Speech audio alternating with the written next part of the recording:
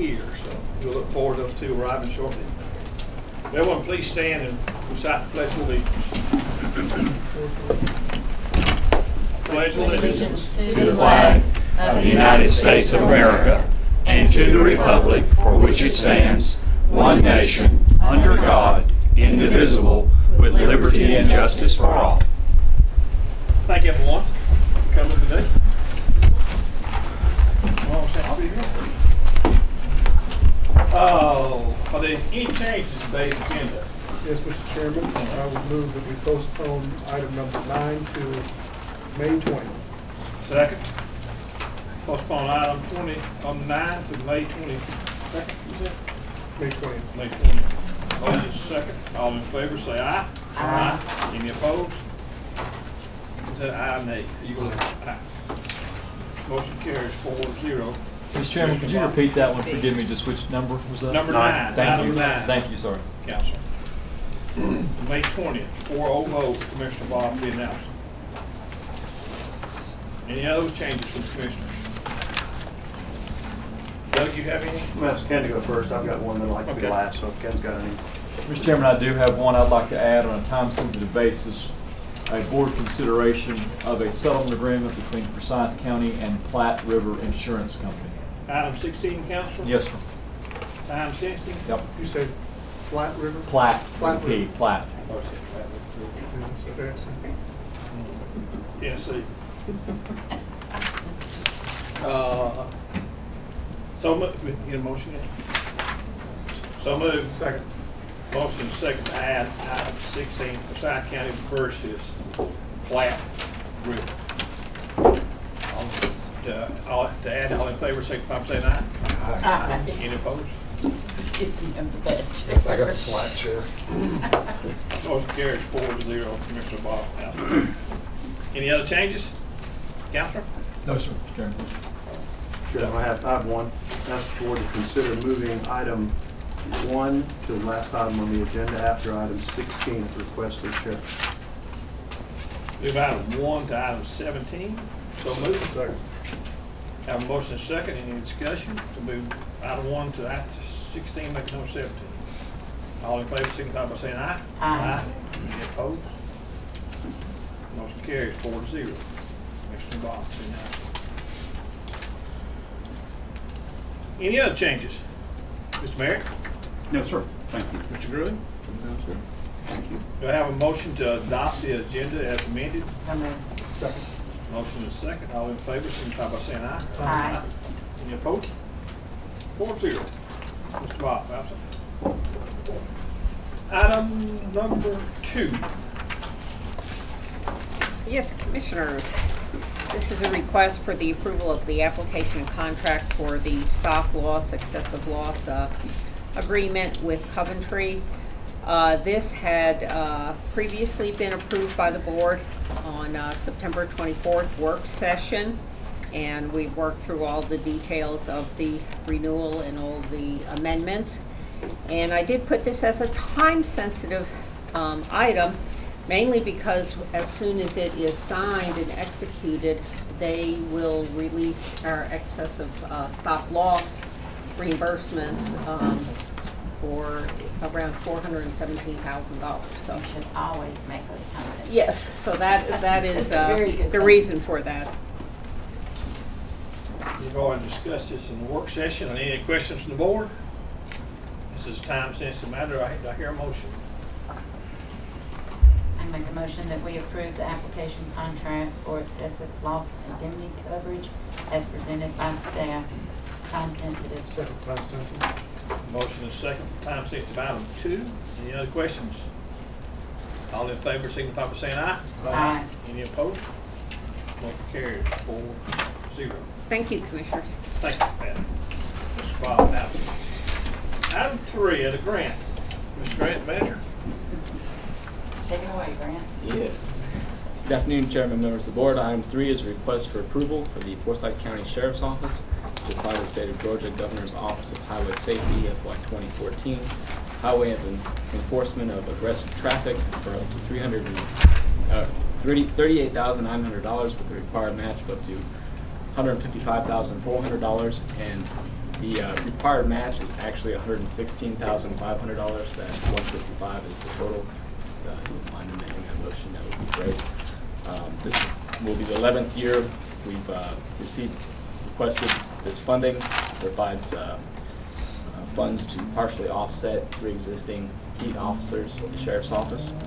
Uh, There's 75% cash match involved this year. Uh, Item is time sensitive as the application is due, uh, I believe it's Friday. Ryan, you said, what was the total that was matched, one sixteen? Yes, the, for award is up to 38,900 with a required match of up to one hundred and sixteen thousand five hundred dollars. So five hundred. Sixteen five. Says down on the back, that's probably gonna make difference. Yeah, the back page is, is Total, one sixty-nine down here. which one do we go by? Uh, one sixteen five. One sixteen five? Because here this is the award's thirty-eight. Okay, one sixteen five. Yeah. Okay, any questions for this seven, eleven-year-old grant we've been applying for? Do we hear a motion from the board on a time-sensitive basis? Yes, Mr. Chairman, I make a motion, on time-sensitive basis, that uh, we uh, matched one hundred and sixteen thousand five hundred dollars for the, uh, and approve the Forsyth County Sheriff's Office to apply the State of Georgia Governor's Office of Highway Safety for the heat grant. Time-sensitive. Second time sensitive. Motion is second for time-sensitive item three for approval. Any other questions? All in favor, signify by saying aye. Aye. Any opposed? Motion carries five zero. Mr. Boff is back in the room, two oh eight. Item four? Yes, Chairman, members of the board, item four is a request for approval of complete services to apply to the State of Georgia Department of Transportation for the 2014-2015 Transit Operating Assistance Grant Program for an amount not to exceed $274,590 with a match not to exceed $274,590 in authorization for the chairman to execute any related documents. Uh, This is our dollar ride operating grant. It uh, offsets the operational cost for the dollar ride program uh, by fifty percent. Avery's here if you have any questions about that program or the grant. How many buses are we running now, Avery, for the dial-a-ride? Mr. Chairman, we're running five right now, but we'll expand to six this calendar year.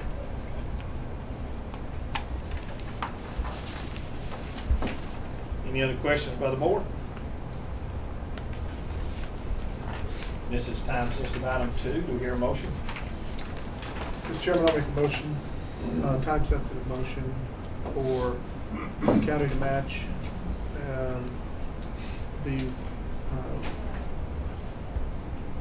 uh, contract with GDOT for the dial ride, yeah, and the amount of not to exceed two hundred seventy-four thousand five hundred ninety dollars, and the chairman authorized to execute any necessary documents, time sensitive.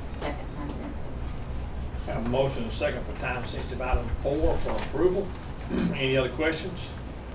All in favor signify by saying aye. Aye. Any opposed? Motion carries five zero. Thank you, Commissioner. Thank you. Avery. Item five, right? Yes, Chairman, members of the board. Item five is a request for approval of juvenile court's application to the State of Georgia Criminal Justice Coordinating Council, for the FY 2014 Accountability Court Grant authorization for chairman to execute any related application documents. Um, Apologize for there not being a uh, backup for this uh, particular item. Rebecca's in the process of writing the grant as we speak. Um, It's due on Friday as well.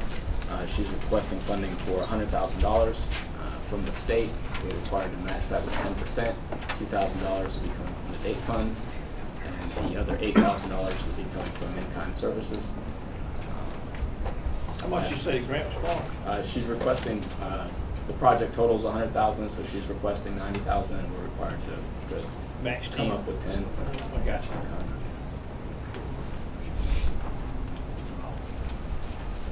Time sensitive item two. Yes, sir.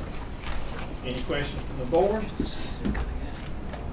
Do I hear a motion on time sensitive item five? Make a motion to approve the approval of the juvenile courts application to the State of Georgia Criminal Justice Coordinating Council, the FYI, FY 2014 Accountability Courts Grant, and the authorization for the chairman to execute and sign any related applications for a hundred thousand dollar grant, and for the county to cover the ten percent of that, with two thousand coming from the date fund, and the additional eight thousand coming from the in-kind service funds, time sensitive. Second time sensitive. We have a motion and second to approve on time sensitive item five. Any other questions? All in favor, signify by saying aye. Aye. Any opposed? Motion carries five zero. Item six, Director IS and T.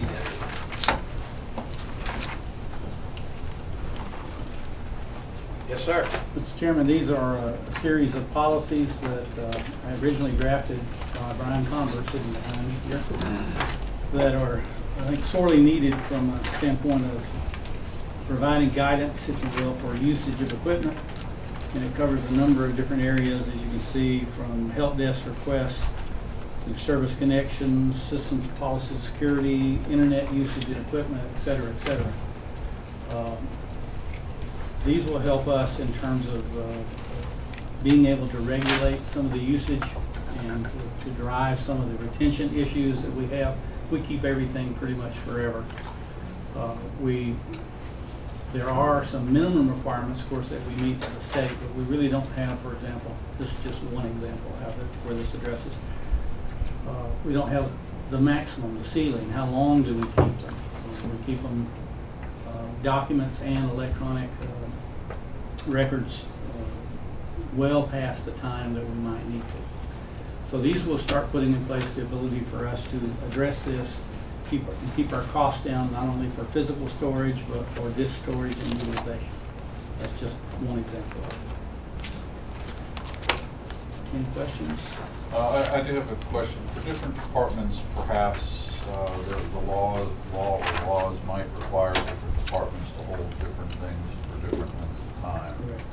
And, um, uh, who is sort of in charge of, for any given department or for any given type of document, determining that, that whatever's in these policies is in fact the, the legal, I'll say, minimum? Well, we don't, in this, these documents, we don't specify. But we need to add that to these documents. That has to be worked out. We actually uh, have a position that's been approved uh, for fifty percent of the role of that effort is for business process documentation. The other fifty percent is to do just what you're talking about. Work with the department to determine what their, to determine and document what their uh, record retention requirements are. And, and why should I care whether you have to keep stuff forever or not? Why is it forever a good answer? Uh, Generally costs. Very uh, expensive, isn't? Very expensive to do it. Uh, If you've got ten thousand documents and you're looking for one that's six months old, you've got quite an effort on your hands to find that document. There's all types of difficulties, I think, with keeping data the- for the duration that we keep the data. Will you Some of it we'll need to keep. would you bring the dates back to us, or will you just fill them in, the time period you have to keep them? Uh, Well, the- we- again, the minimums are met. Mhm. Uh, So, yeah, I think it'd be a good idea for you guys to review uh, the list as we bring it forward. At least an initial set, then you can decide if you want to continue looking at it. Because this is going to be a, uh, take some time to document all this and get it to you. So we'll, we'll bring you information as we get it compiled. If that's your desire, we'll be glad to do that. Um, I mean, I'm, for one, I'm glad to see that we're moving towards coming up with policies, because I don't think we have many to start with. I think some are needed, I just hope we get as many of them right as we can. One of the biggest things, if I can jump in and add, is, is what this is really gonna do is help to manage our liability as a network. So, uh, of course, cost is a big one, but there's a lot of things we do on this network that could be a large liability that need to be dictated to the users because they don't know. Um, that's, th- this has been badly needed for, for some time. Um, now, that being the case too, though, there are things in here that will create a hindrance, I think, that we need to be prepared to answer to for other departments. Um, case in point, one of the two, two big things in here I think that you're gonna find is, is that we mandate a mailbox size of two gig. Um, we, we need not to waver from that. We need to stay at two gig. We can't make exceptions to go up or down. The minute we make that exception, we might as well throw this away. Um, mailboxes, this day and age, we give a two gigabyte default size mailbox. That's, that's, as my son would say, ginormous um, in the realm of, of email uh, for an enterprise like this, and it's very expensive. Um, and also, as Wally stated, with disk space utilization, uh, in here it, it dictates that we are not going to keep um, we as IS&T will not be responsible for evidence. We're not police. The minute we store evidence, we're part of a chain of custody that we do not need to be part of. So we need, that liability from us needs to be removed and, and likewise to, to you as well. So that will need to be worked out, but it's setting the stage to, to go down that route. Have we always, have we always held the evidence for the sheriffs up until now? We're going to change it? So We've always carved out a volume in the SANs for them to, to store evidence in. Um, the issue there is, is that even though we help minimize the permissions to get to those evidence areas and we actually let them manage those permissions, we as IS&T still have permissions to get to the evidence because we have to be responsible for the hardware and the backing up of everything. And I think that's a huge liability that, that we as a department don't need. We've never needed it. It's always been an argument per se. Um, so, Any other questions? Well, one comment, there's gonna be some training that goes along with this, your department's gonna provide training. There, there may very well be a lot of questions. Uh, we may very well need to come back to the board to tweak this policy a little bit along the way, so I just wanted to make sure you understood that. Okay. Thank you. Sure, thank you, Wally. Any other questions? Do we hear a motion for item six? Make a motion that we approve the I- uh, IS&T network usage and data retention policies and guidelines um, as um, in our book and described by the Director of IS&T. Second. Motion second for approval, item six. Any other questions? All in favor, signify by saying aye. Aye. Any opposed? Motion carries five zero. Item seven, new bridge on Dr. Brown. Thank you, Mr. Chair, members of the board. This is to award a bid. CD fourteen 5 thirty-one fifty is for the construction of a new bridge on Dr. Bramblett Road. Um, After it's completed, there's also a minor realignment of the road. And the existing bridge at some point will be made into a pedestrian cro- crossing for other people. We would like to award to the uh, apparent low bidder of Rogers Bridge Company in amount of one million, six hundred ninety-six thousand, three hundred eighty-one dollars and eighty-nine cents. I would like to note a correction, though. It says this bridge will be completed in July. It's October. It is a completion date of October, though. I just wanted to bring that to your attention. Thank you. They're gonna start working tomorrow. And then we asked it to be time sensitive because even October is rather speedy. Is the old bridge falling, or is it the? It's inadequately sized. No, inadequate. It it says it's SPLOST uh, six project. It is, sir. SPLOST six, A, A-level project. Yes. Where's the funding? It's plus Plus six. six. We didn't use it all up when we did the land and the Mullinax. No, when we met with the department, with the remaining funds were in SPLOST six, and make sure we carved out what projects they still have on the board. Oh, I got you. The funding we made available was additional. Oh, that's no land, or that's lost there. No, when they pulled the funding to do that, these projects like this were already carved out. The remaining amount out of SPLOST six is what Mr. Green brought to us, and that's where you got the remaining seven million out of reserve. But they did come out of SPLOST six. Not seven. We're monitoring closely. And that's SPLOST six is gone. Should be. I'll make a motion to accept the award of bid C one four dash oh five dash three one five oh to Rogers Bridge Company in the amount of one million, six hundred ninety-six thousand dollars, three hundred eighty-one dollars and eighty-nine cents. Time sensitive. Second. Bridge. Have a motion and a second. Any other questions? Time sensitive item seven. All in favor, signify by saying aye. Aye. Read. Any opposed? Thank you very much.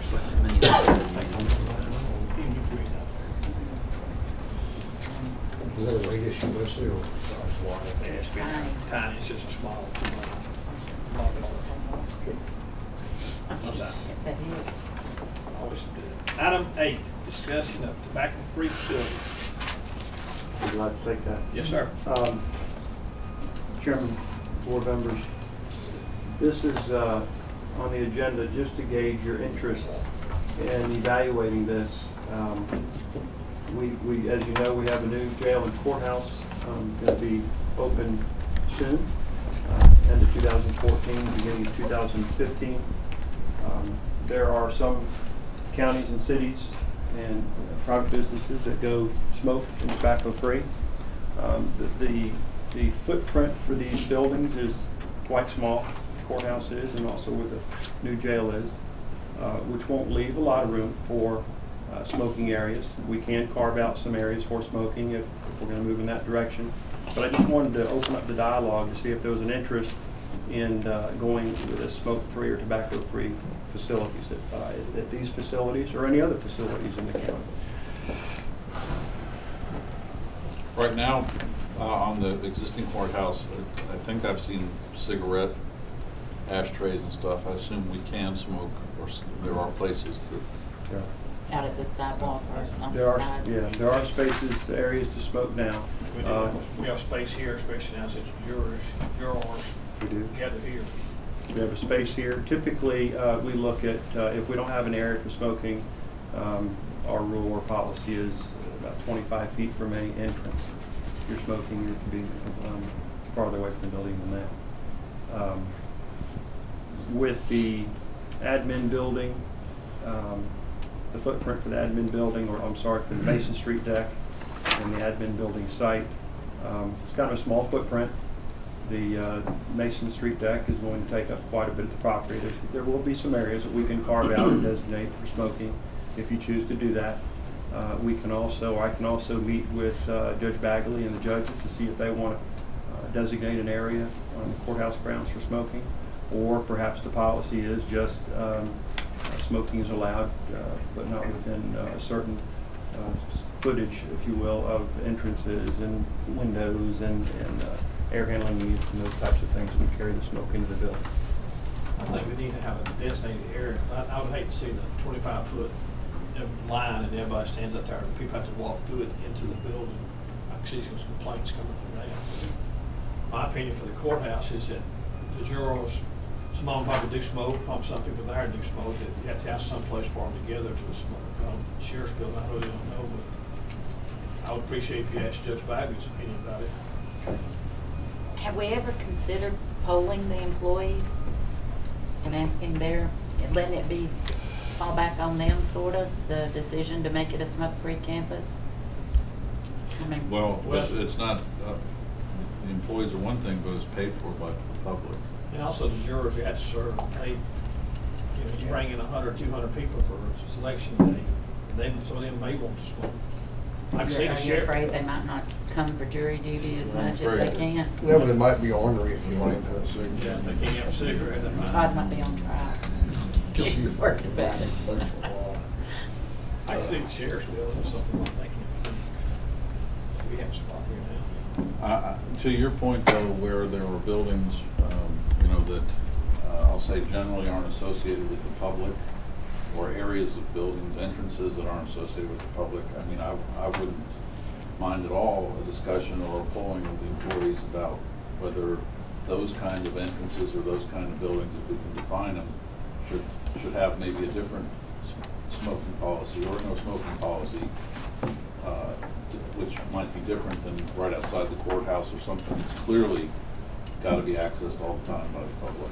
Now, we went, we went through that with our parks and stuff not long ago, about deciding where we wanted, in the parks finally came out, that we had to designate a small area for people to go smoking. And we, we let the district commissioner and or parks director do that. Yeah. Maybe if each one of these buildings has their own administrator, then that administrator makes the decision on where it should be. Well, that's why I said talk to Judge Bagley, That's because what I'm he's, getting he's at. in, he's in charge. That's what I'm basically, getting of at, exactly. Courthouse.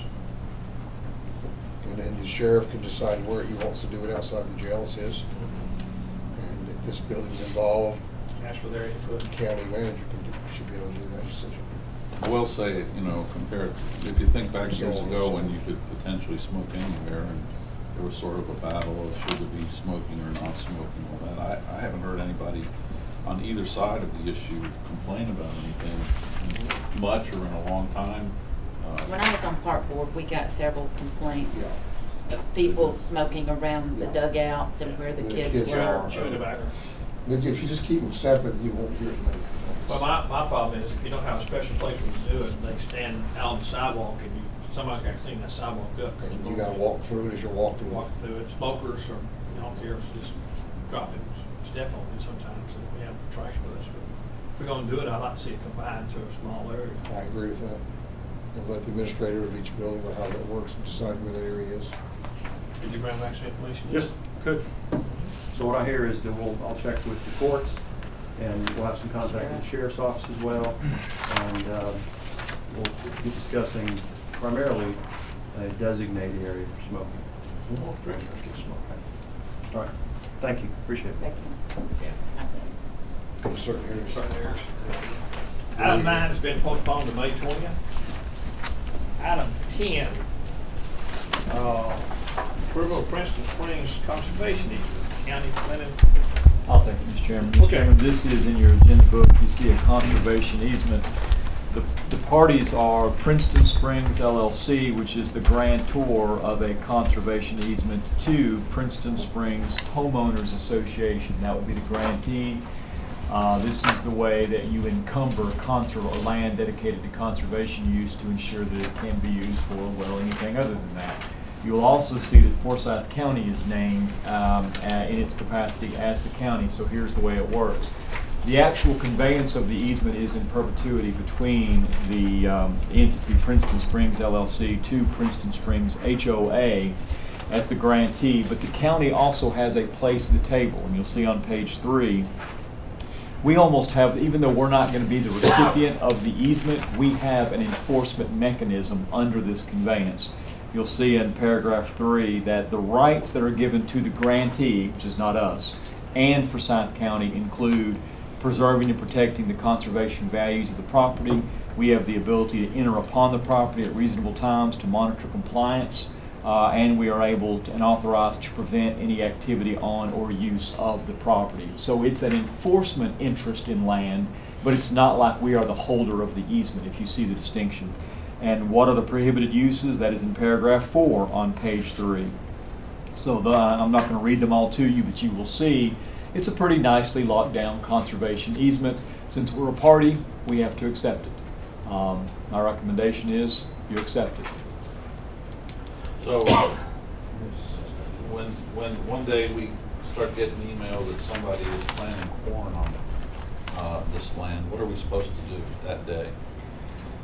We have the authority to uh, send code enforcement out or otherwise take enforcement action to prevent a use inconsistent with the conservation easement. language. Now, what that looks like, Commissioner Boff, and how we might choose to do that, that's either something that Tom's office would handle by way of a code enforcement exercise, or the board may get so agitated, you may tell me to go file an injunction action against the, Now, uh, and, and why wouldn't we do one of these uh, an ongoing basis for every homeowners association that has green or open space that might request it? Well, to the extent that, that we wanted to spend the county's resources that way, and that's not meant to be, we could. The answer is we could. It's just that I think this is done as a component of our Unified Development Code as part of the conservation subdivision. That's correct. And so that's why, you know, we are inclined to do this because it's manifested in our ordinance to do this. How big, how big is this easement? There are, there are, um, I believe, plats on the back. Uh, Mr. Chairman, if you were asking me to give you a- an a- actual acreage calculation, I could not. But the actual description of the property is in the back of the uh, conveyance document. It looks relatively sizable, and I can, does. About nine acres. I can guarantee you that it is a calculation based upon the the formula that our UDC provides, is what they have decided to protect. Now, if the public walks on it or has, can get access to it, is that allowable? I mean, can we, I don't see anything that suggests that the public cannot access and use the property. I think what I, under, under four, what I see by way of prohibited uses are changes that destroy its natural scenic and aesthetic features. In fact, candidly, since that seems to be a, an objective, is to preserve its aesthetic and scenic features, it would seem to me that limited entrance by the public would be certainly allowed. well, I can, item B says any commercial or industrial use, uh, or activity on, what kind of activity does that? Commercial or industrial? Commercial, industrial? Yes, sir. Okay. What about four-wheelers? Don't want to pay tax on it. I would, I would argue that could violate it, because once you start digging up and rutting up the land, That was my thought. yeah. We don't, we don't own the land. You're responsible for enforcing. That's correct, that's right. Somebody else owns the land. Conservation amendment. So then we, we'll still pay some tax. This is extremely bad. I'm sure it's gonna be subject to some reduction based upon the reduced use, usability of it, but, uh, I, I, I don't believe it becomes county property, Commissioner Winters. The only thing I, you know, I just, uh, if someday somebody calls because somebody's trespassing on it, how can a citizen trespass on something the county owns? We don't own it. That's right, I don't believe we own it. We have an enforcement right under this easement, but I don't believe it's ours. It's not ours. We're not the grantee.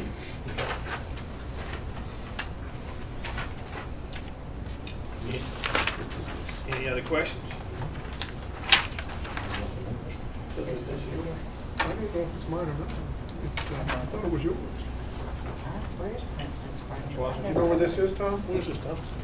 No, sorry. President, Spray? Where? Springs. Springs, yeah. Y'all know where it is? I do. I just wonder what district It's in land lot thirty-six. That's all I need to know. Bill us for that one, did you know? I think that's Jim, he has land lot thirty-six through forty-two.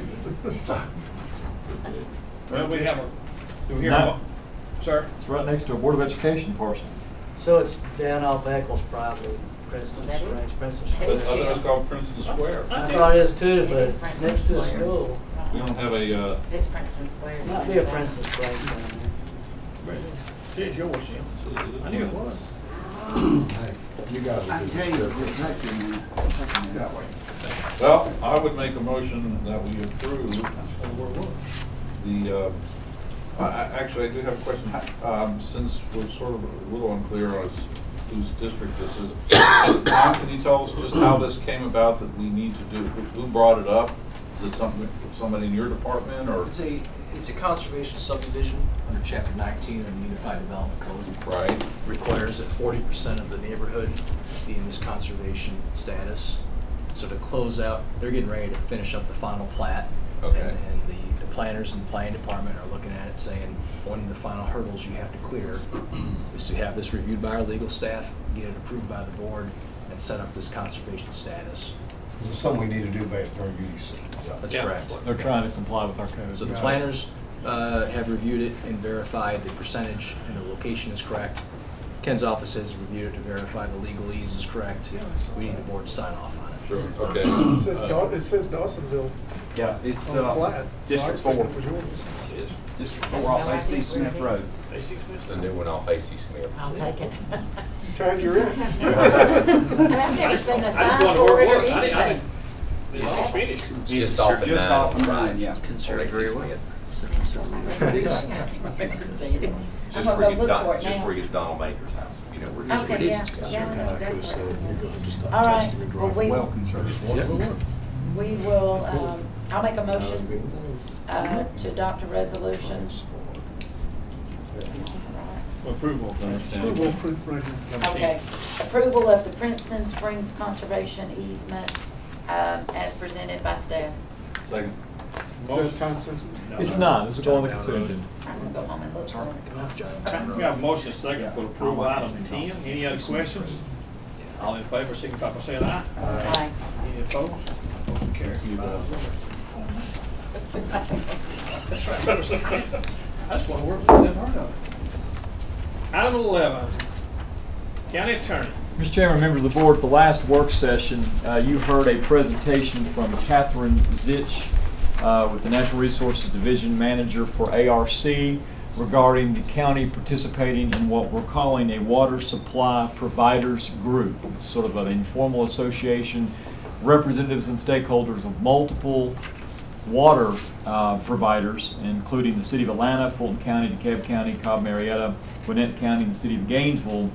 And their primary function is to basically assemble and review with counsel the status of all the various water issues that are implicating Georgia and their ability and availability of water resources.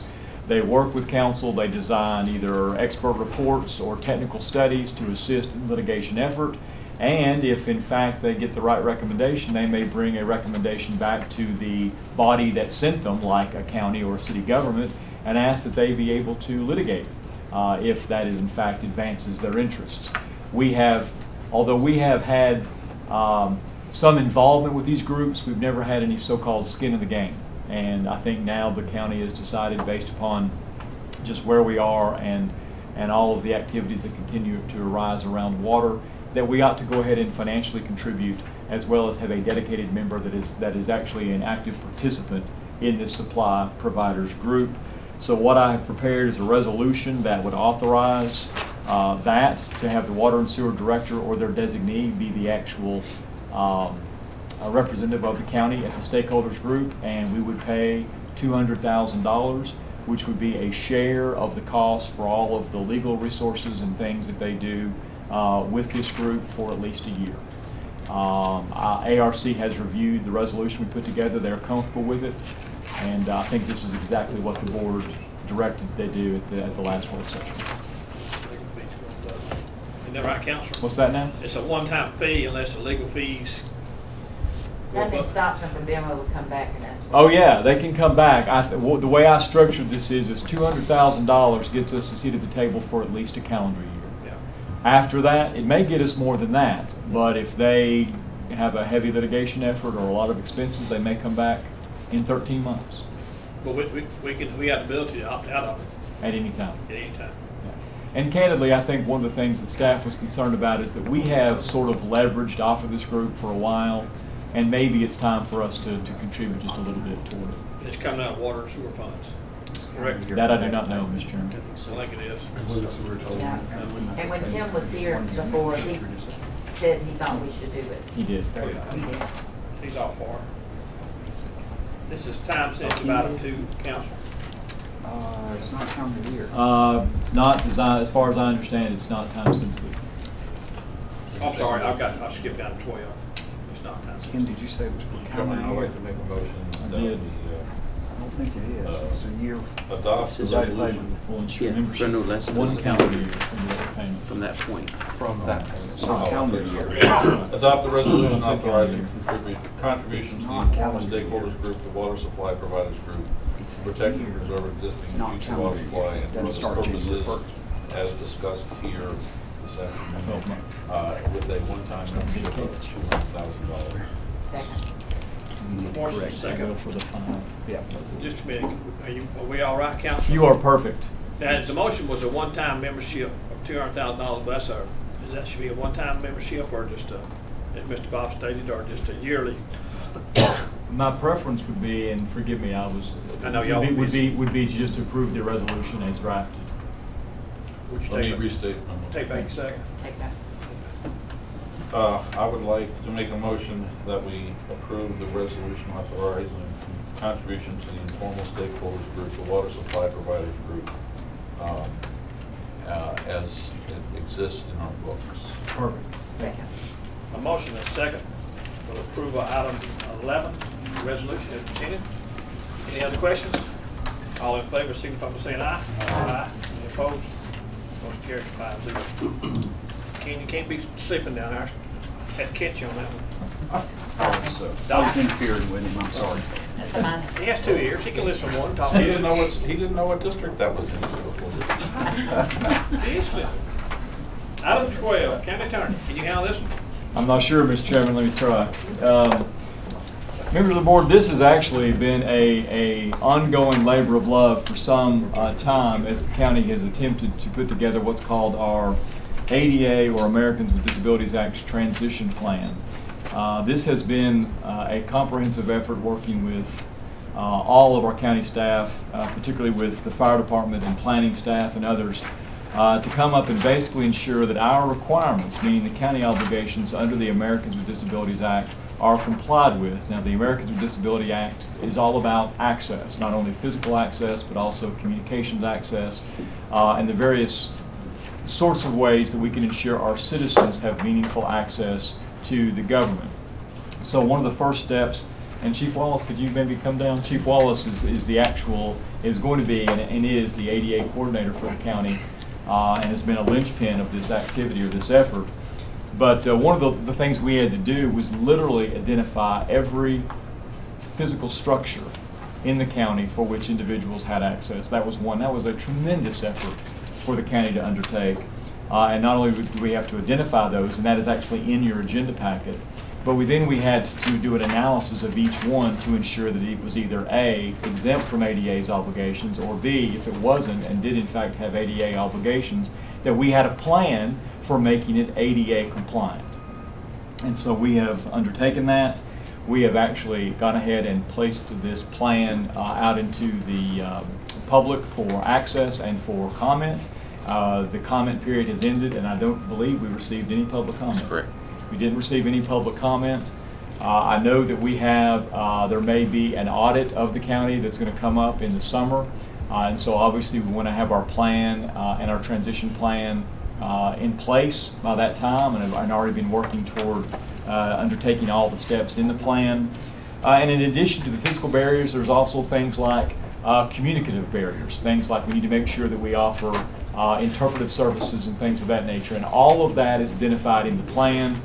Mr. Chairman, members of the board, um, unless you have any questions, it is my respectful request that uh, the board go ahead and approve the ADA transition plan as has been provided and prepared uh, and is in your book. And um, Chief Wallace and I are here for any questions. Uh, I do have a question. Does, does this mean if uh, a site or a building is on the list, that necessarily are going to transition it to ADA? No, not, not if it's just on the list. Um, Because for every building that is on the list, we have actually had to go into that building, look at what it's used for, look at when it was built, and have come up with those elements that may need to be modified to make it compliant. So not everything in there has to be The, compliant. the next three pages actually list the modifications to it, does it, Chief Wallace? That's correct, yes, That's sir. right. But I guess a lot of these things have already been approved and done, but like the Barker House, there's no mention of any word in here, so, It, cur- uh, currently, that building is not accessible to the public. and we just gonna leave it alone like That's it is. correct, yes, sir.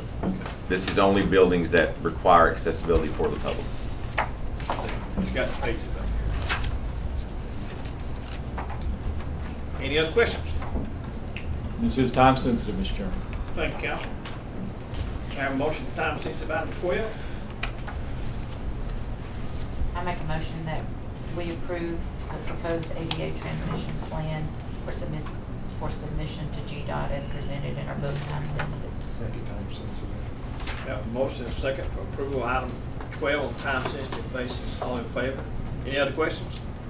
All in favor, signify by saying aye. Aye. Any opposed? Motion carries five zero.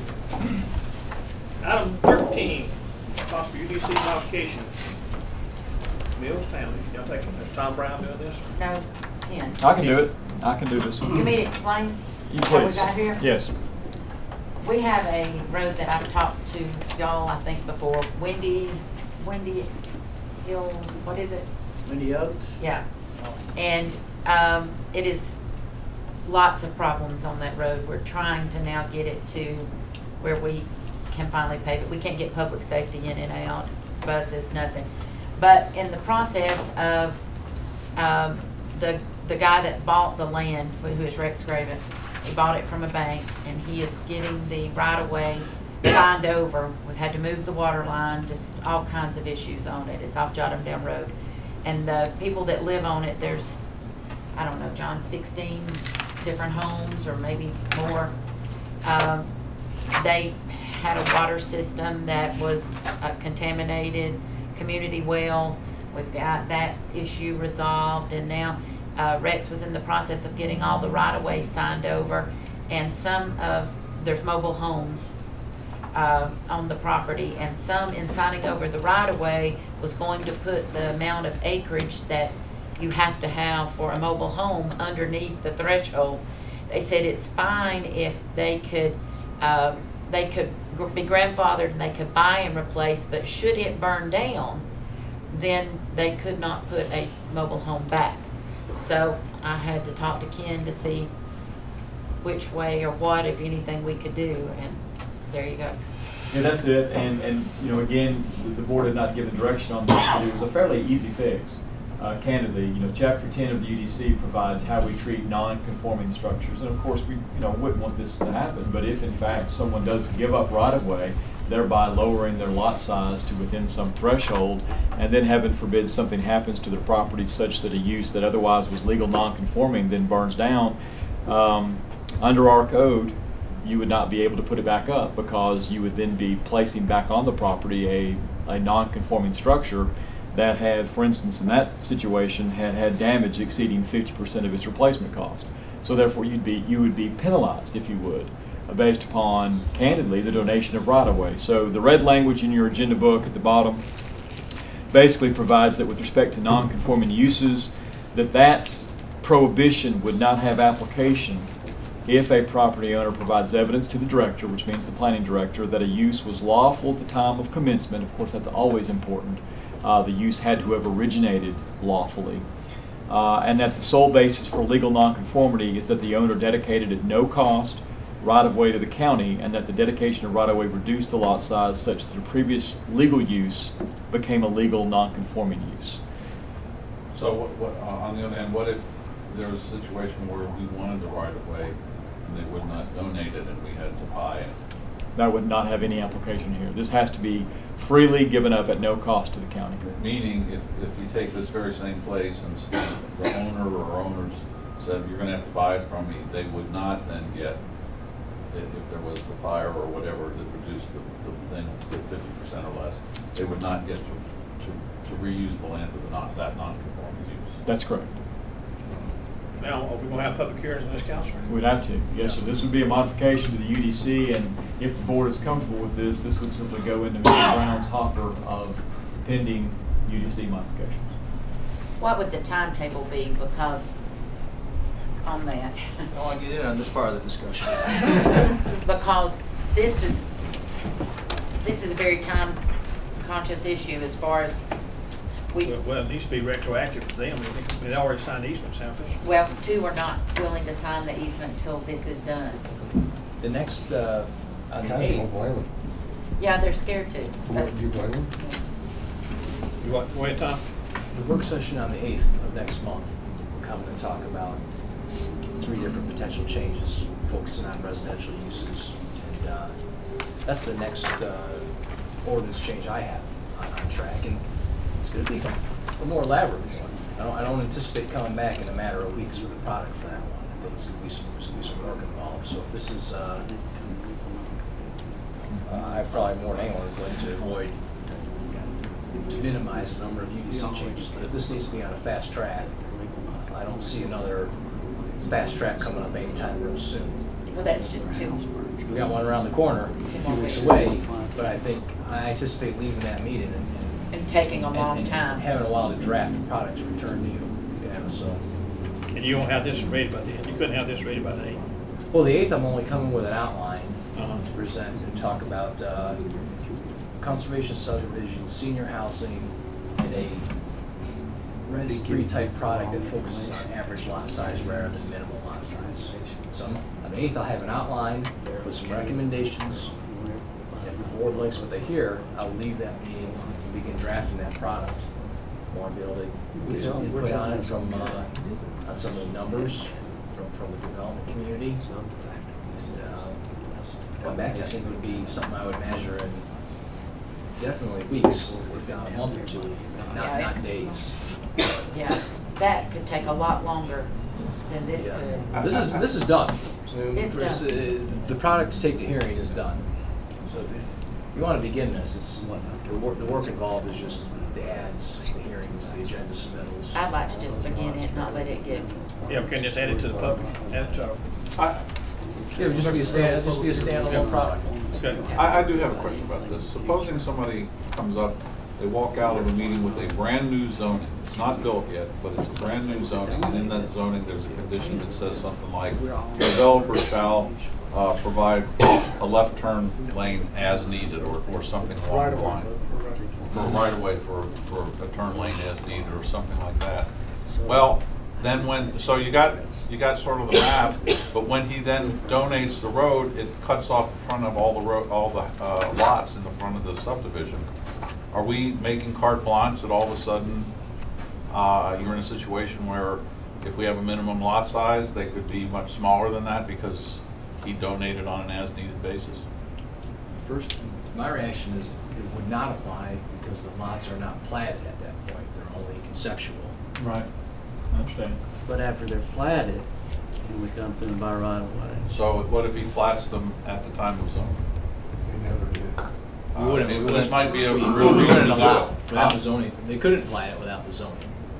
Can't plat it. without They're, they're, they're coming to ask, They've got the zoning. they're asking You for more zoning. plat it until you have your zoning. So they can have the performance standards to My understanding is you take a piece of paper over there and say, submit this as a plat, and you're done. You can probably plat a blank piece of paper. But it hasn't been signed off and accepted by all the.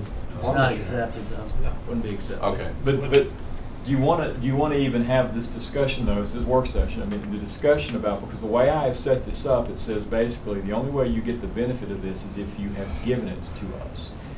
But, but what if, what if you accept the fair market value when we come out and are trying to do a project and you accept our offer? In other words, we don't have to take you to court, you know, to condemn it, but you just accept our offer and get a reasonable return on your right of way. This wouldn't really capture that. and- Well, it shouldn't. Okay, well, I, I, that's what I'm trying to raise, is just because John and I were kicking it around over here, is because those folks then, if they become legal nonconforming, and heaven forbid, their house burns down, then they would, Well, but they've taken, you know. Right. It seems to me this is a little bit of a, you give and you get. You're giving up the right of way for nothing. for nothing. but you're getting the ability to stay on a small, a non-conforming lot. Doesn't count against you, that's, that's right. But if you don't give it up, whether we, whether we uh, Yeah. condemn or whether you agreed to get money for it, then you haven't really given it up, in my opinion. Well, just understand it makes our job a little more difficult when negotiating right of way because people always ask that. You know, we're now gonna have a non-conforming lot once you buy right of way for your road improvement project. And, you know, we kinda take the stance based on what planning's told us in the past is, well, it's okay, they're not gonna penalize you for that because the county came in and required that right of way for our, for the public interest, for the public purpose, for the road improvement projects.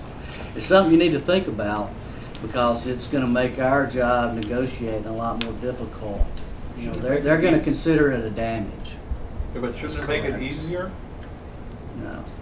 If, if you do anything, it should be, potentially make it easier and cheaper. You have a choice you'll have to give this up, but you can still use your lot. Or we can give you some money and you have, you can't use your lot anymore. But then they're gonna want more money because you've taken the use of the lot. Well, what would be the big deal if we do it the way John said and make it both ways? That's up to you. That's why we wanted to bring it to your people attention. to take the money. Well, we're it not more offering expensive. any money on this because we're No, paving the but he road. said in the Well, it's a future. little different here because what we're doing for Cindy on this private road is based on a board-approved policy for acceptance of non-county maintained roads, whereby they're deeding the right-of-way to get the county to accept and improve it. They're meeting certain criteria. Well, why won't we Uh, just name it like that? Why couldn't you make it subdivision or site specific, make it just for that subdivision, Ken? Yeah, make it for a non, I mean, The road. Instead of getting so involved with other pieces of land, just make it.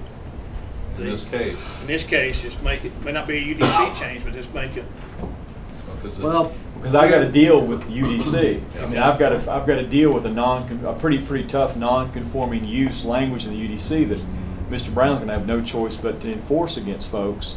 So let's take that situation. I mean, you know, this is all based on a, on a fairly uncommon hypothetical, and that is that somebody had a legal lot, they gave, either they gave it or we acquired, maybe we paid them for some right of way, and it knocked their lot below the minimum square footage of lot size for that zoning performance damage. And then something awful happens. Okay, let's just, a tornado knocks their house down, or a fire, or, or flood damage that knocks it below 50% of its assessed value, and they want to come in and rebuild, and then we look at their lot size and look at what they want to do, and we say, you can't. Your, well, the your right lot, thing is if we paid it or whatever, we should let them be able to be rebuilt. And, and you'll run into it on commercial properties too, because we go in and acquire prop, right away, it may not be a legal, will not be the required acreage, I'm not sure where it is in commercial, but they might not meet setbacks and other things that would then require variances, and which we would have to consider as damages during our right-of-way negotiation process if we don't allow it to be a legal non-conforming to where they could build back what they have after we And we don't wanna put people out of business for do, for giving the county or for us having to take their right away. Yeah, because we take what's required for the project and we don't need anything else. Right. Uh, but we might leave them with something that's non-conforming, that don't They have a la- can u- They may, can't- they may not have a landscape strip. And then they Right. come back in for some additional site development and planning says, well, you need landscape strip. They say, well, we don't have room to put one in because our parking lot goes right up to the right of way. Right, it'd be the same like at Doc Holcomb's store at Coal Mountain or any of those things that have been there forever and ever. As the roads have gotten bigger and the infrastructure has increased, it wouldn't have room to be newly built there. So in every instance, it could make our job more difficult and cost us more in negotiating right away. And then every one of these, at some point in the future, may have to come back through for a variance.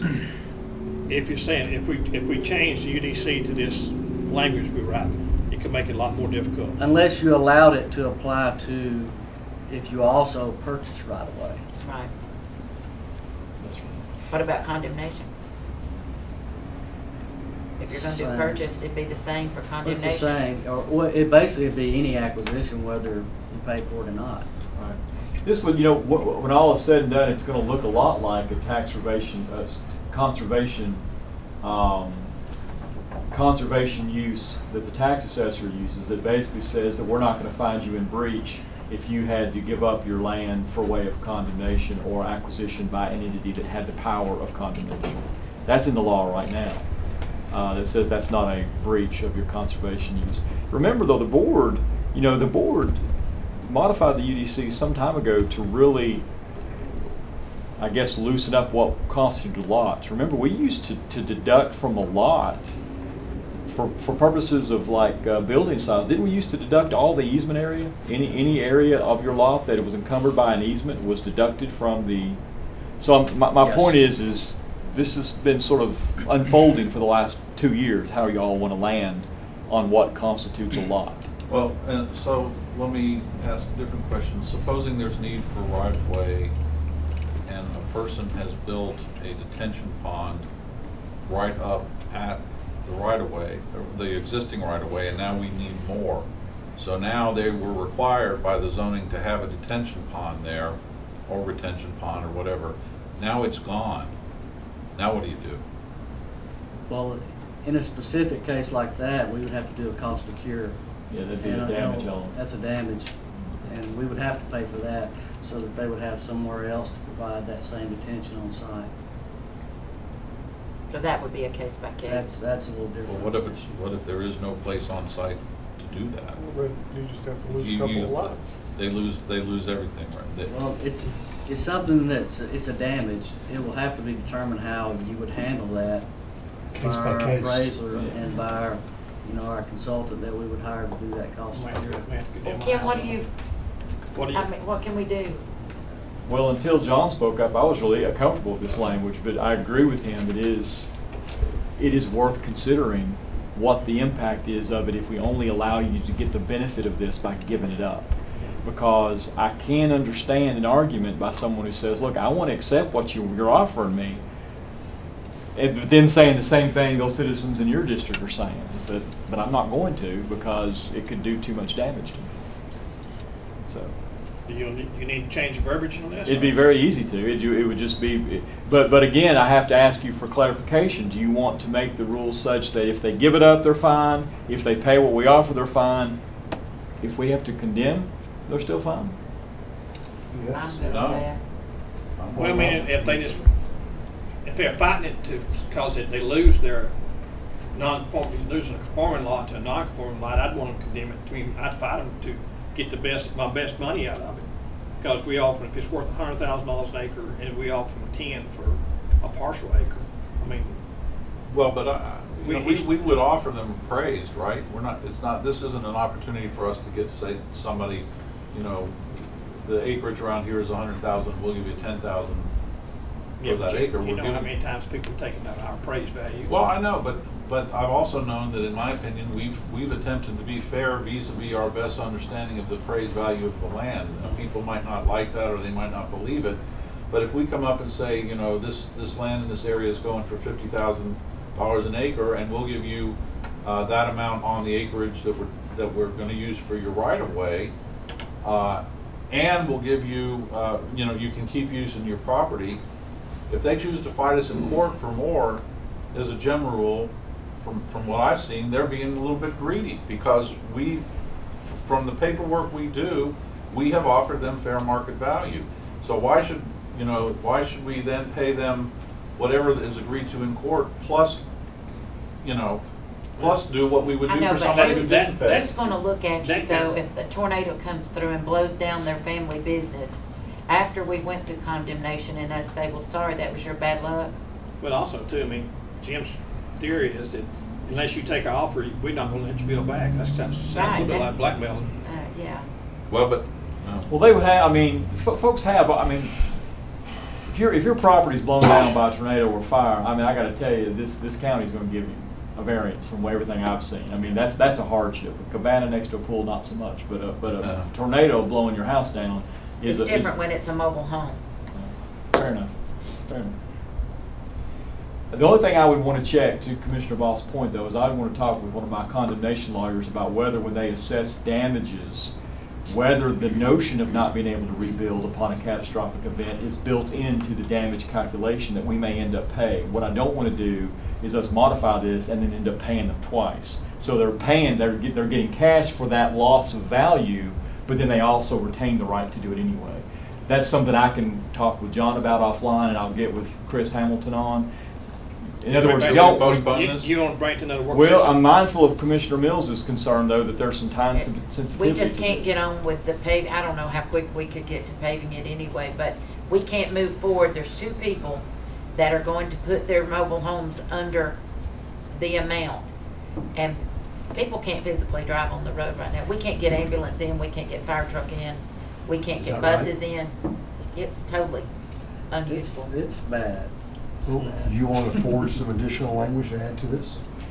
Uh, I, I do. I mean Um, verbally or, or come back? I would like, to, I'd like to come back, but if you, if you all are comfortable enough with the general idea to go ahead and, and, and put it in Mr. Brown's court, I'll work with, with Tom and John on some language and get the process started.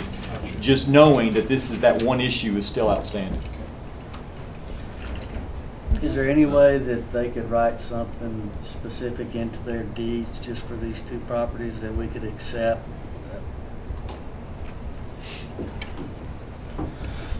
The board could accept?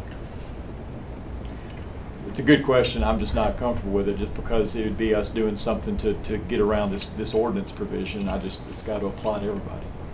Uh, I, I appreciate that. I just can't be clear. You could write some legal opinion, if they donated right away, we would call this a conforming lot, instead of non-conforming, I mean, just for those two lots.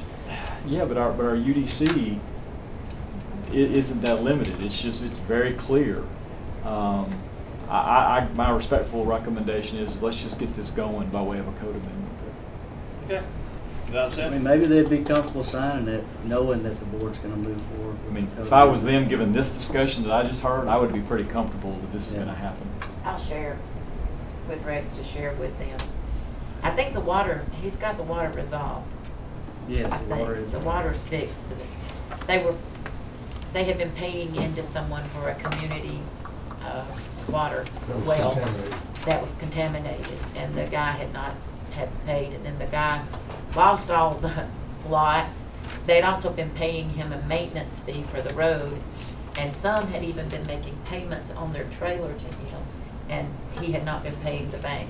It's a very, very convoluted issue. Wow. Got it, We're Ken? trying to help. I do, sir. I've got it. I Okay, understand. without exception. Item fourteen, e-cigarettes, county attorney. Mr. Chairman, members of the board, in your agenda, you ought to see a uh, white paper in my office put together uh, with respect to the status of e-cigarettes. I will tell you that the board's sort of direction was a little bit open-ended. I think you basically wanted to become a little more educated on these devices. uh, And I don't really want to read this full paper to you. I'll tell you, I thought it was put together fairly well. Uh, It talks about um, candidly, the reality is, is there's just a lot of unknowns right now. There's a lot of unknowns with respect to health consequences of these sorts of devices. There is unknowns with respect to the state of federal regulation on these devices, and you can see a section on that where it's, it's unclear if and when FDA is going to come down and really begin to regulate these. It does appear that within the realm of these e-cigarettes, it is a little bit of the Wild West right now. Um, that, that, that it looks like there is a patchwork of various state regulations, but not a whole lot of guidance, guidance at the federal level. I will tell you though, to some specific questions that were asked, there was a recent, this is not in your memo because it's recent enough that I didn't get it in there, but I have a modified version of this I can email you. Uh, that we did have passage this legislative session of HB 251, uh, which will likely take effect and become law uh, in July of this year. And it would extend the reach of the prohibitions against minors selling, purchasing, or possessing cigarettes to include e-cigarettes or these vapor devices. So we feel fairly comfortable that Governor Deal will allow that to become law, uh, and that that will be at least some prohibition with respect to the use of these devices by minors. Um, There was a report that came out today, I heard on WSB about that after doing a study for a year, it does not, is proven it does not help people quit smoking. Well, I mean, and again, what this paper reflects too is that it's just basically becoming another, Habit. you know, it's, it's becoming another drug delivery device, is what it looks like. And so there's obviously the nicotine delivery systems, but you candidly can get other sorts of um, chemicals that can be delivered by the, the unit or the packet that is heated and then inhaled. And of course, the question becomes, well, what is being heated and inhaled and what are the health consequences? And I don't think there's any conclusive studies on that. But we do know that there's, you know, there's, there's mechanisms by way that you can do uh, cannabis oil uh, and those sorts of things to basically produce a, a, a- marijuana sort of uh, effect. But I think so. So I encourage you not to sit here and listen to me read this, but perhaps read the, the white paper again. And and in light of the House bill, um, do you or are you thinking of perhaps any instruction you want to give the county with respect to whether we want to take a shot at regulating in this area? As the county sort of already talked about earlier in the agenda, we really have limited regulations in Forsyth County by way of ordinance with respect to cigarettes. Let's say, if we don't do that, right now at our parks, people can smoke the e-cigarettes anywhere they want to, They don't have to go to a designated area. After, after, that's, that's right, because, yeah, our tobacco prohibitions in the park anticipate traditional And cigarettes. even here on our campuses, where we say that, that people are smoking tobacco products have to go to a designated area, if we don't modify our policy to incorporate the e-cigarettes, they can smoke anywhere. No, they produce vapor, they don't smoke. Well, Right, Which means interior of the building as well. right, if we don't have policy, they could be I mean, inside what- What is the difference between smoke and vapor, Counselor? Uh, well, you know, based upon the, the, the information in this, the, the vapor is typically water vapor. Uh, but to the extent that you're asking, are there any studies that have looked at it at the molecular or chemical level to discern if there's any sort of secondhand consequences? I, I don't know. But, but what I think you are saying is that it's not just another word for smoke. Oh, it is absolutely not another it's word for something- smoke. It is something else, Yes. at least in some way. Yes. Should we regulate it to, to our smoking areas only? I mean, can we do that? You know, it, it- the, the rule is, is that if, if we're not preempted, and so long as we're basing it on the public health, safety, and welfare, yes. But you said it doesn't give us any guidelines. Is it, is against our health to have e-cigarettes? Well, there are other things than just pure health consequences that, that may incentivize us to, uh, to act. But my thought to you and my instruction to you would be that if you want to draft an ordinance that would prohibit the use of e-cigarettes, for instance, in county buildings, we could do that. Would that pertain to school buildings too, only county buildings? Uh, I can tell you Why? My thought would be that the, the Board of Education would need to adopt anything involving school buildings. I'm online right with him, you know. Yeah, put fluoride in Yeah, you're- I'd be in favor of looking at some proposal to look at. Yeah, I'd and like make to- it be in a line, I, I mean, I think it should be lined up with our tobacco. I mean, I don't, does the sheriff's office, do y'all have any, I'll, I'll make a are y'all into e-cigarettes? I'd like to see about the school, well, I mean, you mentioned it's in schools, but. Oh, yeah, it's really bad going on in the schools, and they were adopting something, I don't know if they have yet, but when I talked to them, they were going to do something. Would you all indulge me real quick and just let me read you this real quick excerpt out of this white paper? No. Thank you. I want to read, Mr. Chairman.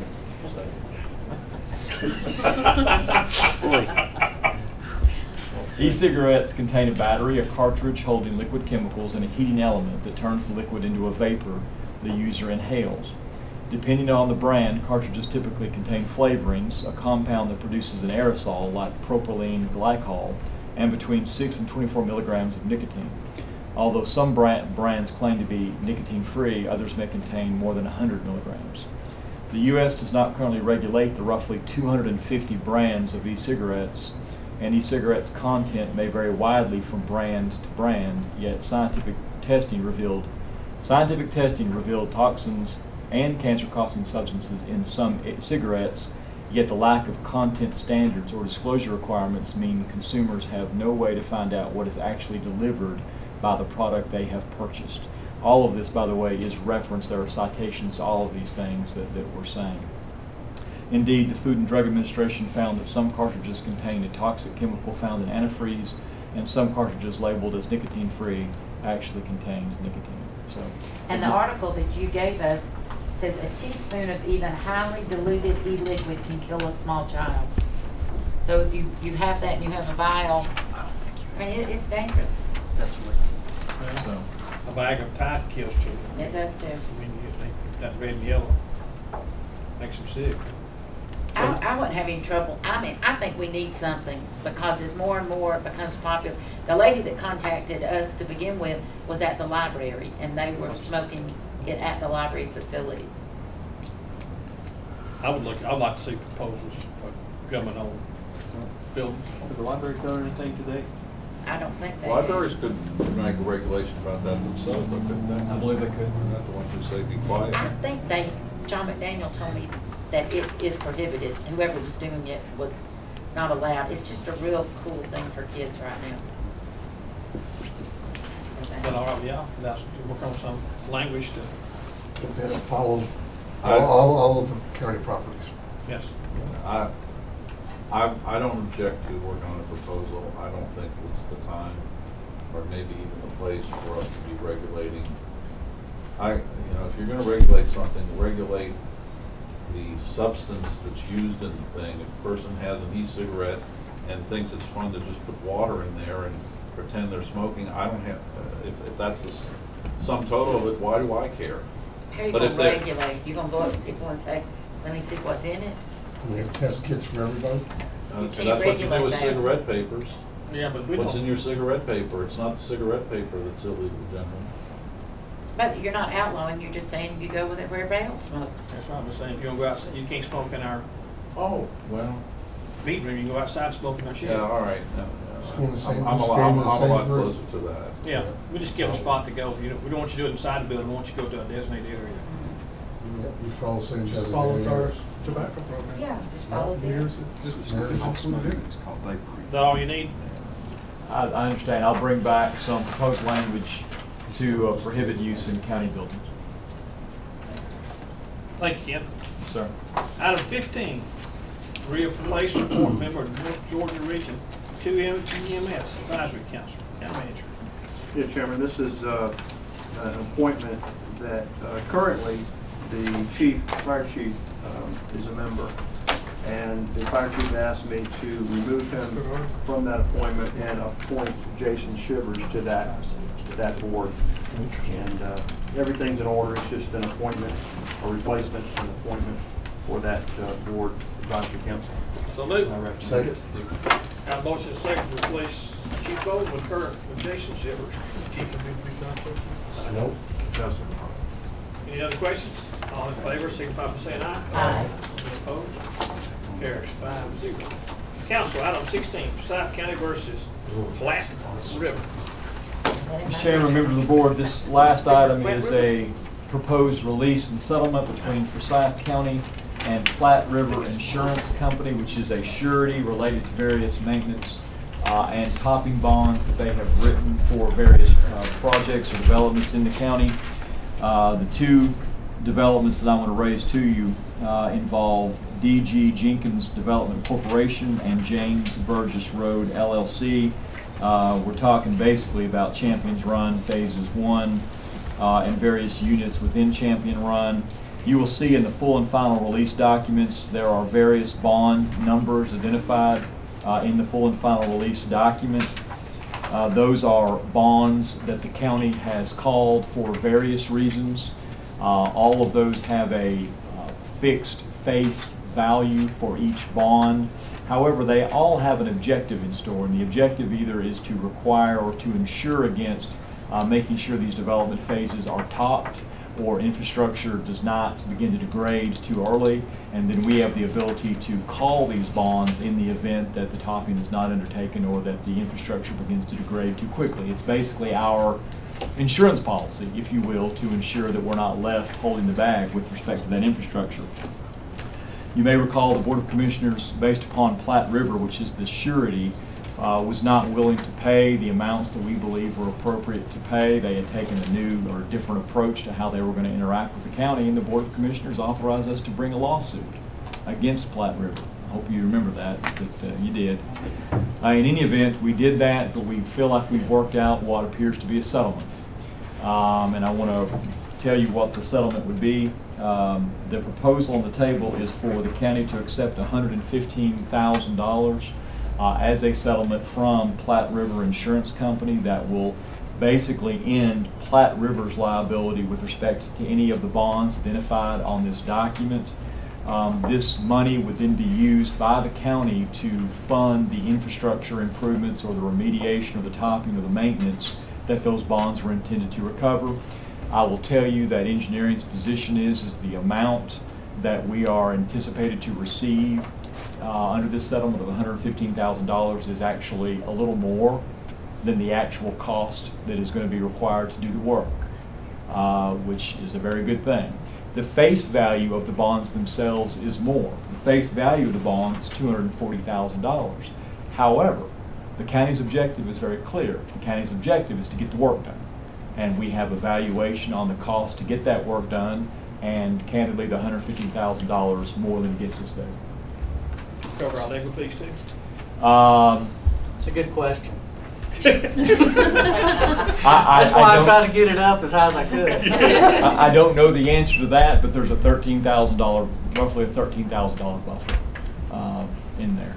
There's So- your, there's, there's where you can work. So, thank you, but. That's the max. Captain, Captain's legal fees. That's, that ship has already sailed, Commissioners, I'll just go ahead and tell you that. But uh, based, based upon the fact that we believe that the value the county is receiving is in excess of the maintenance and repair obligations incurred, we can recommend this settlement to you. Okay, you you say you feel comfortable with this, John? They've agreed to it. Any questions from the board? Sell this issue? Do we hear a motion from the board? I would uh, like to make a motion that we accept the full and final release um, between, is it the county, Platte River Insurance Company and Forsyth County uh, has uh, handed out to us in this meeting and described by counsel. Does it need to say DG Jenkins as well? You know, the, the, it's, the, the settlement is actually gonna be between the county and Platte River. While we will dismiss the claims against DG Jenkins and James Burgess Road LLC without prejudice, uh, the settlement is with the surety. Sure. Have a motion and a second for the settlement. Any other questions? Satisfied? Yeah, okay. All in favor, signify by saying aye. Aye. Thank Any you. opposed? Motion carries five to zero. Uh, are y'all going up to the sheriff? Y'all wait, do we need to wait on him? Item one, which is now item seventeen.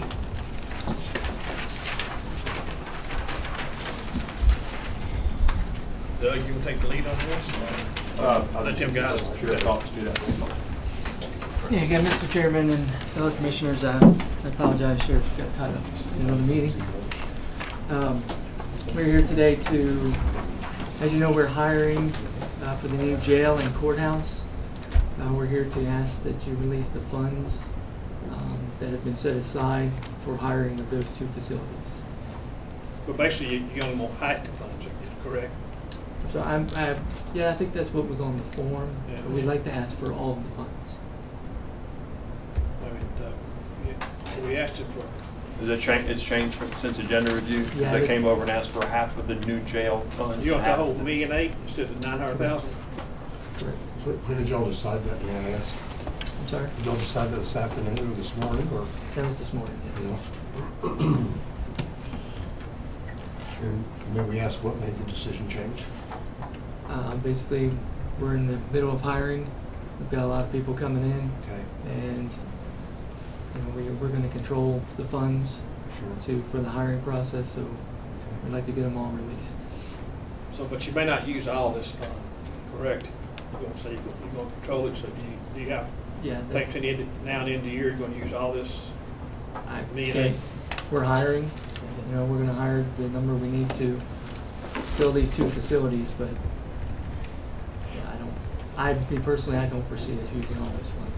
We, we, we do consider for all expenditures for the new jail, new courthouse, for the, the training, the hiring, and everything else is still being maintained in our system separately, tracked separately. So it's not gonna be merged in with just a regular operating budget. We, we keep complete transparency and have it to a point where everything we're spending. What we're running into is, for example, now all the DS ones that we have budgeted are already hired for, that we currently have budgeted. All the new hires, we're now into using this money in order to make it work with the county processes in the system is, there's examples of converting different positions. There's a lot of, for lack of a better term, shell games that go on in the accounting process to document it. That once this money's released, and then we have to move everything back. So it becomes a lot of moving money around, but by having this, these line items funded now, it avoids us having to, to move stuff around. So if there is money left, then absolutely, you know, we're, we're not gonna spend it on something else. It's gonna be related to the jail and the courthouse. This will help you keep a clean line item to show exactly what it costs. Exactly. To man. What? To, what- to man, to, to, to, to staff, to uniform, to equip, all of these things, to train all of these people. I remember last year in the budgeting process and finance committee that we talked about what projections were shown would be needed at the new jail and, and that it would be a lot of trial and error until you get over there. I mean, are y'all using a lot of precaution that you're not over hiring Oh, absolutely. I mean, that you, Oh, you won't be absolutely. hiring a lot of people that won't actually be needed. Correct. What are you anticipating at this point in time for extra personnel that you're hiring to man this jail over what you have presently? We're, we're budgeted at, what, eighty-seven? 87 is the Eighty- personnel Eighty-seven. FTEs or full-time equivalent employees. Between both facilities, Correct, for, yeah, both. in addition to what you already have? Correct. That, that, that's what's budgeted. Whether or not we'll use it or need it, it's yet to be seen. Again, it's gonna be, as Commissioner Mills said, trial and error as we're doing it. And we had set money aside. Yeah, we've got, don't we have this in the budget, David? Yep. we Two reserve, put it two reserve lines. I I just, I knew what the eighty-seven was, I didn't know if y'all, at this point in time, I've done enough research to see if it needed to still eighty-seven or if you. Not That's It's not even a number yet. Yeah. Do- Doesn't the, the, the consultants that's working with your group think that it'll be less than that? No, not necessarily. Oh, So that is I the think it number was- I they're think it was thinking? more. Oh, Yeah, it that was They thought it was more, this was cut down. We cut it- to we cut it do way This down. year's budget. Right, because they're not doing anything like the first quarter. Yeah. We, and we did, and we cut it, I think, we started out over hundred. The original request is hundred and thirty-one to 132, and yeah, Yeah. and it was reduced to eighty-seven. Now, the funding that's in place uh, is for a portion of two thousand fifteen. Correct. But to access it any time during the year and then hire as they need to hire makes perfect sense for training purposes and otherwise. That's what we set that for. All right, I'd make a motion that um, we approve the budget adjustment for the sheriff's office for expenditures related to jail courthouse project from designated reserve funds in an amount not to exceed one million eight hundred and fifty thousand dollars. Second. And does that need to be time? Yes, it does. I'm sorry. Second, or that, my motion is time sensitive. Second time sensitive. To make a uh, amendment, if I can. Have a Like- motion second, any other discussion? We'll go right ahead. uh, that um, if if the main motion is approved, or passes, that uh, the sheriff notify us immediately when that account is drawn down to zero. Second. We have a motion and a second for amendment to the regular motion. I- Do you anticipate that happening in twenty fourteen? Spending all of it in twenty fourteen, it's, it's gonna depend on the hiring, the training. But I mean, It if, if, if, if we go over, it's, are are we coming back for more money, or if we go under?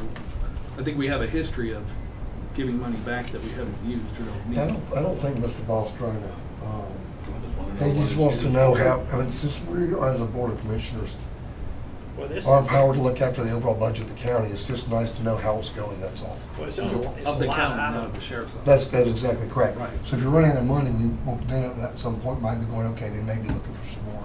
Well, yeah, if- well, if, if we were to get to that point, obviously, correct. well ahead of time, we would be not coming in that day saying we're out of money, we need it. But you did it today. No, What, what did we Well, do no, today? this was No, we set didn't do it aside. today. I This know- is I know money it's set set aside. aside. It was, saying it half. was set it out, set No, aside. we didn't do it today. I got it. So, do you want to know that in calendar year twenty fourteen, or It, it, it's this year. eighteen months from now? Yeah, and this, uh, uh, this year, Yeah. calendar year twenty fourteen. It, it happens to be So if you, if you. training for this year. Yeah, It- it- It's everything, it's hiring, training, uniforms, But it, That's but cor- it, that's but correct. it goes over in the calendar year two thousand fifteen, Well, correct? that, if. Not this, not this, No. not this training part of it. Right, we didn't do the budget yet for twenty I know, fifteen. but I thought we had some. Mm-mm. What what I, and I don't want to speak for the sheriff's office, but what would happen in one of my departments like this, if you funded positions for a portion of 2014, those positions would show up on the 2015 budget as a full year. Mhm. So We just haven't got there yet. we just haven't gotten there yet. Now, that may change if they decide they need more in 2015 or fewer in 2015, then that's the number that would present during the preliminary budget. Would that be difficult for y'all to let the Board of Commissioners know?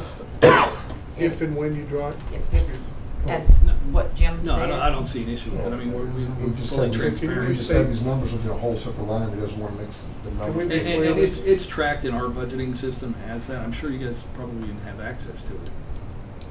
Jamie Payne has it tracked with, um, the designator at the end, whether it's Yes, court, yes. jail.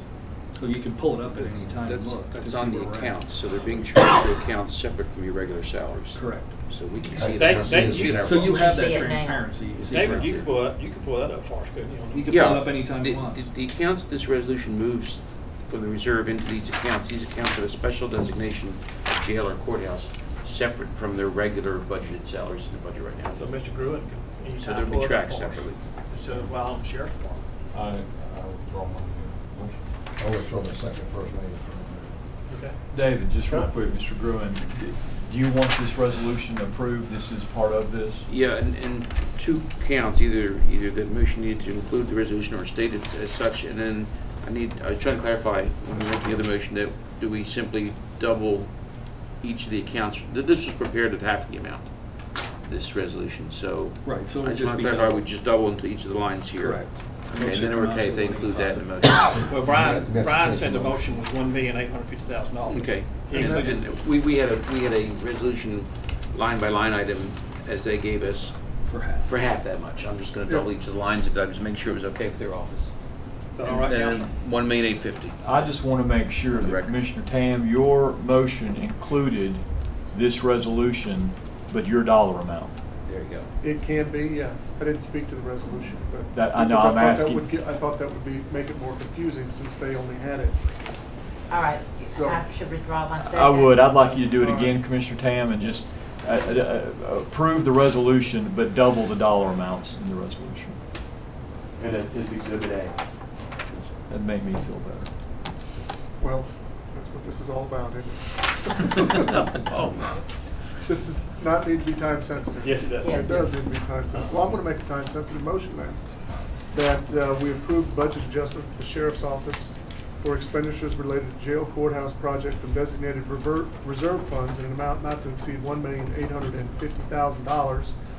And that um, we adopt this resolution, Exhibit A is presented to us in our books for twice the dollar amount, which is, once again, one million eight hundred and fifty thousand dollars. Yes, sir.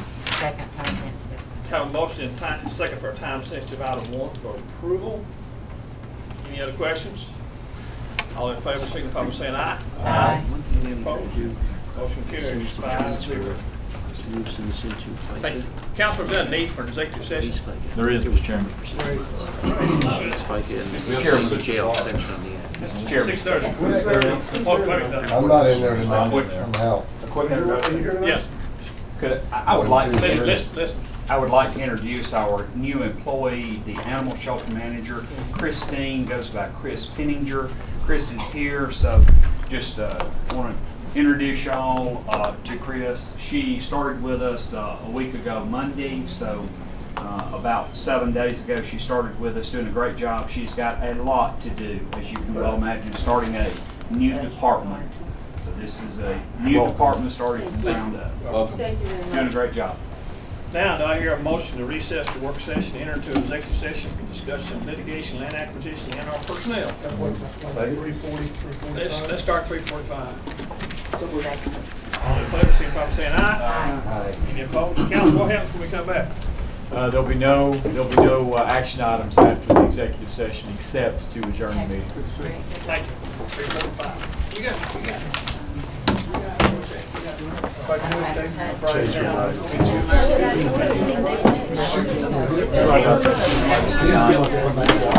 Right. The concept of- Well, and I do that. Can we do that? I have times when I just don't quite get it. should, I mean, or should we just wait? Well, Doug called it, Doug Purdy. He asked me. And I had read the, the the resolution is one resolution. You had said and that. then the exhibit is a separate page. That's all right. There's nothing here that would say either, okay. I knew that had to exist. That had to. All around, just say you're Yes. I was And not the involved in that other, drop. you know, Where was it? Surely it wasn't in the file. You did. Don't tell me. Who put it there? really, it was all zoning condition. I know Donna's got it. Donna's probably got it. No. Yeah, that should be fine. I asked her. You are Recently. tied up. Well, I will get Well- this Somebody signed. posted oh. yesterday, well, And I, then- you know, my husband has laptops home, but it's I asked her today. But it was behind his seat on the floor, so it's exhibit A. Exhibit. Right, yeah. That's it, yeah, it's like. the way-